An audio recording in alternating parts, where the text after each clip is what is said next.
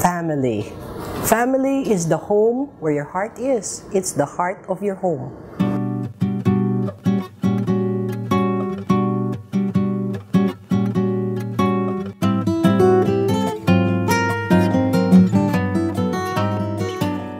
Family, of course, aside from your own family, family can also be anyone who is very supportive of you, but most of all, someone or people who actually love you and understand you and we'll be there no matter what happens. And you know even if you have failed even if you don't have any power anymore they'll still be there supporting you and making sure that you know you go through life smoothly. So i think that's really what family is all about.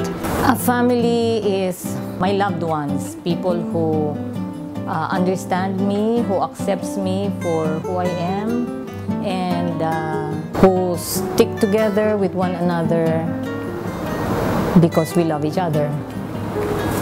That's my family.